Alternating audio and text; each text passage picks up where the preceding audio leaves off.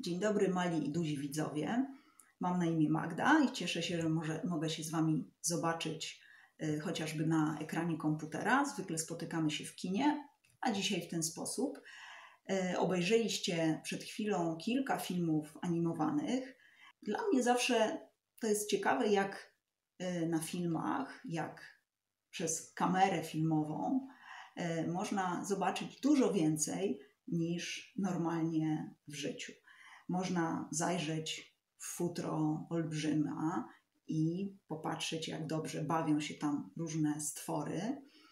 Czasem można śledzić historię Rysia, który wędruje po nocnym mieście, e, albo po prostu podążać za e, dziewczynką i śledzić jej przygody, takie zwykłe, wokół domu.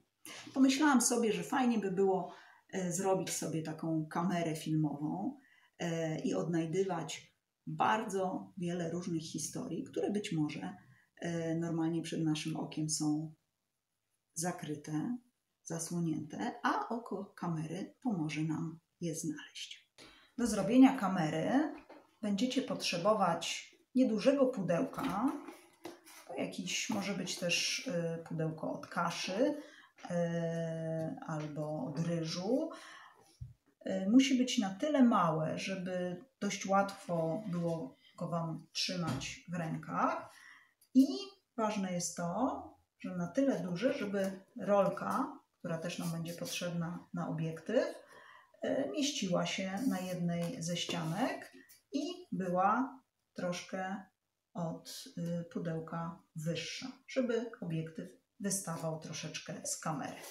Do ozdobienia kamery y, wystarczą jakieś papiery do pakowania kolorowe albo po prostu y, cienki blok rysunkowy z kolorowymi kartkami. Nożyczki, klej do oklejania i flamaster albo ołówek do zaznaczania.